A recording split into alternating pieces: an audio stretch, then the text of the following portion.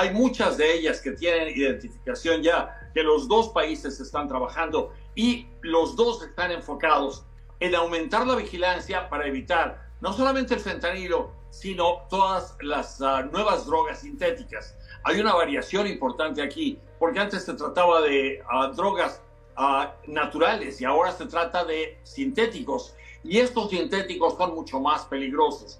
Entonces, no solamente están de acuerdo los tres países en tener una estrategia conjunta que ataque esa fuente de nuevas drogas, sino también las fuentes de financiamiento ilegal que le dan vida a todo este narcotráfico.